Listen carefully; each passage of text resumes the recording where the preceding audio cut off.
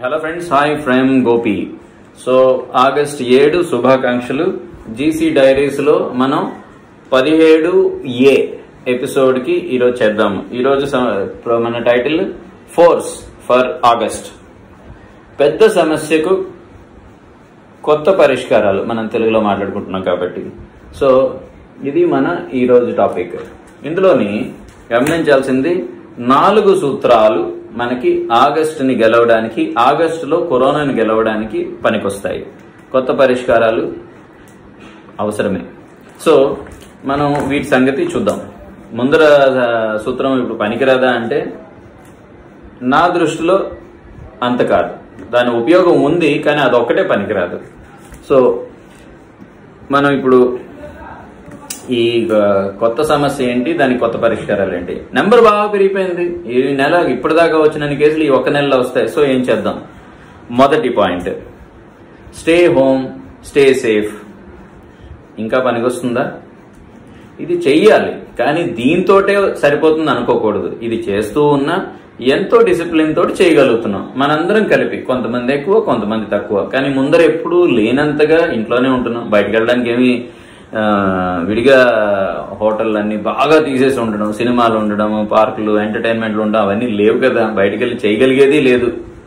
పని కోసం వెళ్తాం లేకపోతే ఇంట్లో వాళ్ళు అడుగుతారు ఎందుకు వెళ్తున్నావు ఏంటి వెళ్తున్నావు అని. సో ఒక్కొక్క ఊర్లో ఆ ఊర్లో ఉన్న పనులు బట్టి అవసరాలు బట్టి మనం కొంత డిసిప్లిన్ చేయగలుగుతున్నాం. ఇంకా ఎక్కువ డిసిప్లిన్గా ఉంటే ఇంకా మంచిదే.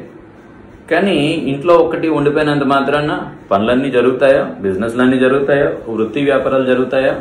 జరగవు. కాబట్టి స్టే హోమ్ స్టే సేఫ్ అని ఏదైతే ఉందో అది కొంతవరకు పనికొస్తుంది. ఇంకా ఇప్పుడు ఈ సమయాల్లో పనికిరాదు. అదొక్కటే పనికిరాదు. అనేది గమనించాలి? మరి ఏం చేస్తాము అనేది మనం ఆలోచించుకోవాలి. సో రెండో విషయం. అది పూర్తిగా చాలదు అంటే కొత్తది ఏంటి మరి? అది బాగోలేదు అని చెప్తే ఇంకేమన్నా బాగుందా చెప్పాలి. కనీసం ఏంటి బాగుండొచ్చు అని అనుకుంటున్నాం. అదేనా మనం చెప్పగలగాలి?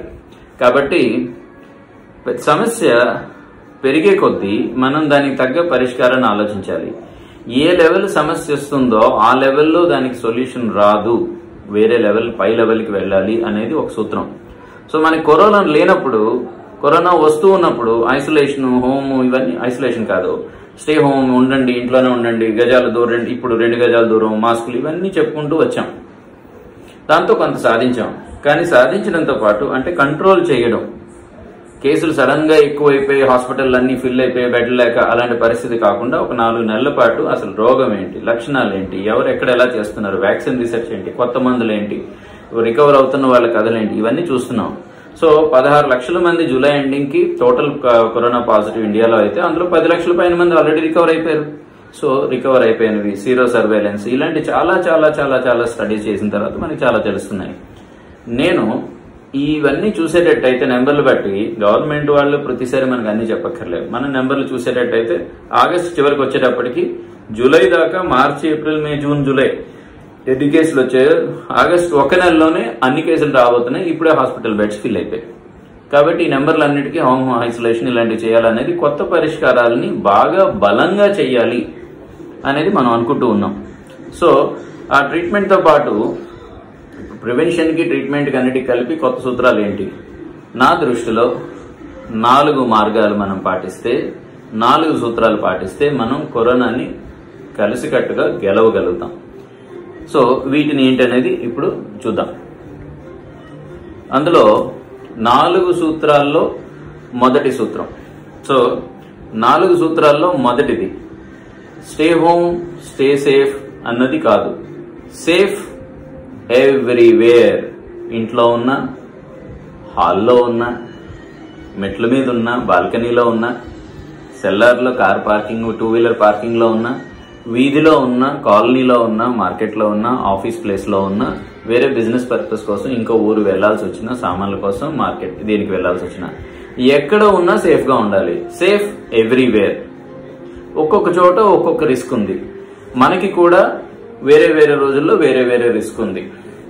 ఇంటర్నల్గా షుగర్ బీపీ కంట్రోల్లో లేకపోవడం థైరాయిడ్ ఉండడం ఆస్తమా ఉండడం ఈ మధ్య జలుబు వచ్చి తగ్గింది కొంచెం ఎనర్జీ డల్గా ఉంది. లేదు కిందటి నెల ముందటి నెల ఏమైనా ఆపరేషన్ జరిగి ఉండడము. మన ఇంటర్నల్ రిస్క్ బయట రిస్క్ వేరేగా ఉంది. అంటే బయట రిస్క్ కేసులు ఎక్కువ ఉన్నాయంటే ఆ ఉన్న ఏరియాలో కాకుండా తక్కువ కేసులు ఉన్న చోట అక్కడ మార్కెట్కి మనం వెళ్ళొచ్చు. సో చాలా డెసిషన్లు మనం తీసుకోవచ్చు. సో ఎంత ఎక్కువ రిస్క్ ఉంటే అంత సేఫ్టీ ఉండాలి అనేది పాయింట్. ఒక ఎక్స్రే సంబంధించిన మిషన్లు తయారు చేసే ఫ్యాక్టరీ ఉందనుకోండి అందులో ఫ్యాక్టరీలో పనిచేసే వాళ్ళందరూ మామూలుగా వెళ్ళినప్పుడు కొన్ని సేఫ్టీ కొన్ని జాకెట్లు రేడియం స్టిక్కర్స్ లాంటివి అందరూ పెట్టుకుంటారు. అదే వెళ్తూ కొన్ని ఎక్కడైనా లూజ్గా పార్ట్స్ ఉండి లేదు ప్రొజెక్టింగ్ అలా ఉండే ప్లేస్ ఉండేటట్టయితే ఎక్స్ట్రాది హెల్మెట్ కూడా పెట్టుకోవచ్చు. ఎక్స్రేలకు సంబంధించిన ఏరియాలకు పనిచేస్తున్నారు అనుకోండి లెడ్ జాకెట్లు కూడా వేసుకోవచ్చు. ఫ్యాక్టరీలోకి వెళ్ళే విజిటర్ కూడా ఈ ఏరియాస్కి వెళ్తే ఆ సేఫ్టీ తీసుకుంటారు. ఎంటర్ అవ్వగానే లెడ్ జాకెట్లు వేసుకుంటారా అందరూ? వేసుకోరు. సో హాస్పిటల్లో కూడా మామూలు రౌండ్స్ ఉంటే ఒక జాగ్రత్త ఉంటుంది. ఆపరేషన్ థియేటర్లోకి వెళ్తున్నారంటే ఎక్స్ట్రా స్క్రబ్బింగ్ అందరూ వెళ్ళరు వెళ్ళే వాళ్ళు ఎక్స్ట్రా జాగ్రత్తగా వెళ్తారు. సో సమస్య ఎక్కడ ఎక్కువ రిస్క్ ఉంటే దానికి తగ్గ మ్యాచింగ్ తీసుకోవాలి. మాస్క్ రెండు రెండు గజాల దూరం అనేది బాగుంది కానీ అది ఒక్కటే కాదు కదా. ఆ ఏరియాలో ఎక్కువ కేసులు ఉంటే ఒక్కటే కాదు. ఎప్పుడు వెళ్తాం ఎంతసేపు ఉంటాం వచ్చేస్తాం అన్నది. ఫర్ ఎగ్జాంపుల్ ఏ ఆఫీస్ రూమ్లో కానీ ఎక్కడ కానీ ఉన్నా సరే నలభై నిమిషాలు మించి ఉండేటట్టు అయితే క్లోజ్డ్ రూమ్లో ఉంటే రిస్క్ ఎక్కువ అని చెప్పారు. అంటే దాన్ని ప్రాక్టికల్గా మనం ఏం చేస్తాం? రూమ్ తలుపు తీసి ఉంచడం ఫ్యాన్ వేసి ఉంచడము. సో వెంటిలేషన్ ఉండేటట్టుగా చూడడం. ఏ మీటింగ్ అయినా పది నిమిషాలు పావు గంట దాటకుండా చూసుకోండి. ఒకవేళ ఫిజికల్గా ఎదురెదురుగా ఎదురు ఎదురుగా కూర్చుని మాట్లాడితే. ఏ పనైనా ఏ మీటింగ్ అయినా అలారం పెట్టుకోండి. ఫోన్లో అలారం పెట్టండి. పావు మీటింగ్ అయిపోగానే కావాలంటే కంటిన్యూషన్ లేకపోతే ఓకే బాయ్ బాయ్ మళ్ళీ కలుద్దురు కానీ కంటిన్యూస్గా మీటింగ్ లాంగ్ ఉండేటట్టు అయితే ఉంటుంది అనేది సో దాన్ని మనం ప్రాక్టికల్గా ఏదైనా చేసుకోవాలి. సో సేఫ్ ఎవ్రీవేర్ అప్రాప్రియేట్లీ తగ్గట్టుగా అన్నది. దాంతోపాటు ఇప్పుడు అన్ని అన్ని చోట్ల అని చెప్పుకుంటున్నాం కాబట్టి నెక్స్ట్ పాయింట్ నాలుగు సూత్రాల్లో రెండోది. స్ట్రాంగ్. అన్ని వేళల. ప్రతిరోజు ఇంకొంత స్ట్రాంగ్. ముందర ఎపిసోడ్స్లో మనం దీని గురించి మాట్లాడుకున్నాం. జనరల్ ఫిట్నెస్ ఫ్లెక్సిబిలిటీ పెంచుకోగలగడం. లంగ్ ఫిట్నెస్ బ్రీదింగ్ ఎక్సర్సైజెస్ చేసి పెట్టుకోగలగడం. పోస్చర్ బాగుండడం. కరోనా ఫిట్నెస్ మన మెటబాలిజం బాగుండాలి. సో విటమిన్ టాబ్లెట్లు తీసుకోవడం. దెన్ స్పెసిఫిక్ మెజర్స్ గైడెన్స్ బట్టి గైడ్ లైన్స్ బట్టి. సో మనం స్లాగ్గా ఉండి నీరసంగా ఉండి ఫిట్ ఉండి బరువు పెంచుకొని బరువు తగ్గిపోయి రకరకాలుగా ఉండేటట్టయితే ఎంతసేపు మందులు కావాలంటే ఎలాగా? మనం సొంతంగా రికవర్ అవ్వగలిగితే మనకున్న అడ్వాంటేజ్ మళ్ళా సెకండ్ వేవ్ వచ్చినా మన రెసిస్టెన్స్ దాన్ని తొందరగా వైరస్ని చంపేస్తుంది. మనం విన్ అవుతాం.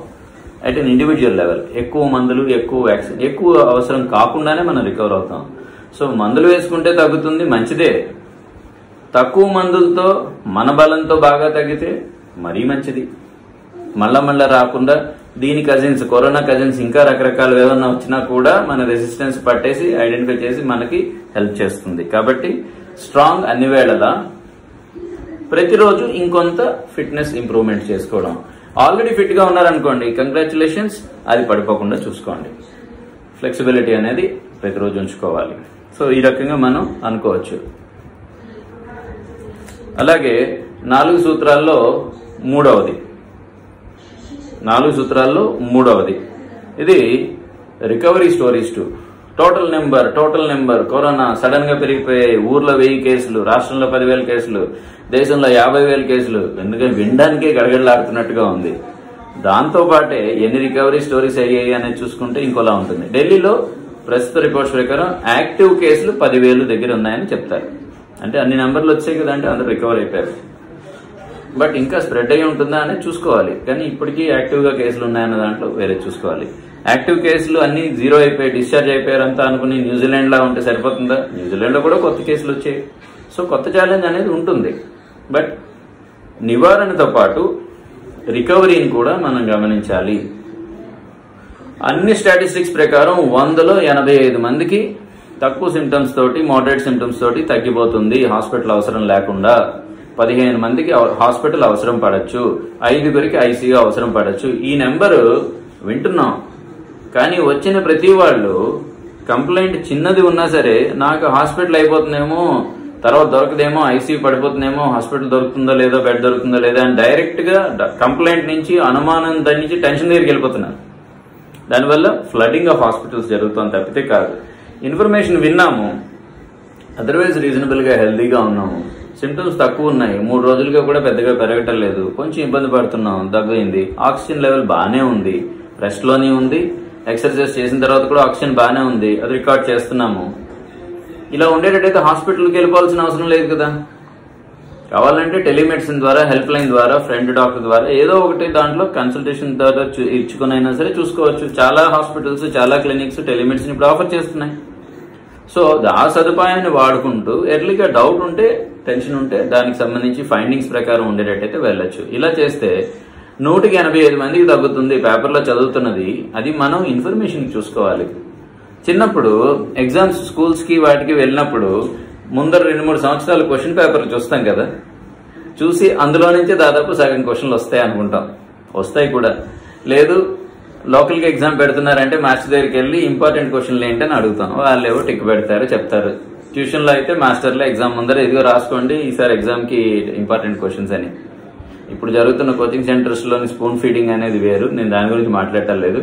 బట్ సిమిలర్గా చూసుకుంటే మన ఎగ్జామ్కి వెళ్ళేటప్పుడు ఒక ఛాలెంజ్కి వెళ్ళేటప్పుడు ముందర ఉన్నవి చూసుకునేటట్టయితే దాన్ని బట్టి ట్రెండ్ ట్రెండ్ బట్టి తెలిసిపోతుంది కదా. దాన్ని బట్టి మనం చదువుకోవడం ప్రిపేర్ అవ్వడం దాన్ని బట్టి ఎగ్జామ్ని సక్సెస్ఫుల్గా ఫేస్ చేయడం కాన్ఫిడెంట్గా ఫేస్ చేయడం.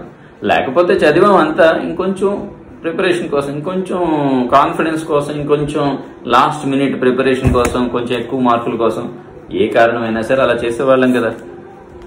లేదు సరదా కోసమైనా చేసేవాళ్ళం.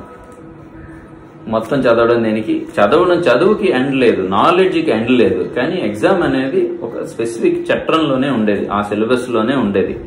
కాబట్టి ఎగ్జామ్ ప్రిపరేషన్ అనే మైండ్ సెట్లోంచి చూసేటప్పుడు మనం దాన్ని అప్రోచ్ అవుతాం. క్రికెట్లో స్లో పిచ్ మీద ఆడుతున్నాము. ఇప్పుడు ఆస్ట్రేలియా వెళ్ళి బ్యాటింగ్ మ్యాచ్ ఆడాలి అంటే ఫాస్ట్ పిచ్ మీద ఎలా బ్యాటింగ్ చేయాలి బౌలింగ్ చేయాలి అనేదే చూస్తాం తప్పితే క్రికెట్ చరిత్ర అంతా ఇప్పుడు తెలుసుకోం కదా. క్రికెట్ తెలుసుకోవడానికి ఎండ్ లేదు. టైం ఎంతైనా ఉంది ఎంత చేసినా ఎంత తెలిసినా ఇంకా ఉంటుంది. కానీ ఇప్పుడు మ్యాచ్ టోర్నమెంట్కి వెళ్తున్నామంటే అక్కడ మనం ఎలా బ్యాటింగ్ చేయాలి దానికి ప్రాక్టీస్ ఏం చేయాలని చూస్తాం.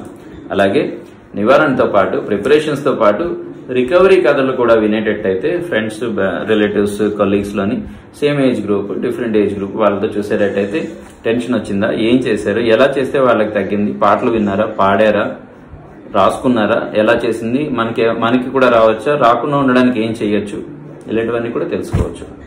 ఏమన్నా స్పెషల్ కషాయం చేసుకుని తాగారంటే ఆ- రెసిపీ కనుక్కునేటట్టయితే మనం కూడా వాడుకోవచ్చు మనం కూడా ట్రై చేయొచ్చు. సో ఇదంతా కూడా ఫ్రెండ్షిప్ కామరేడరీని పెంచేవి. సో నాలుగో నాలుగు సూత్రాల్లో మూడోది నివారణతో పాటు రికవరీ స్టోరీస్ కూడా మనం తెలుసుకోవాలి చేసుకోవాలి.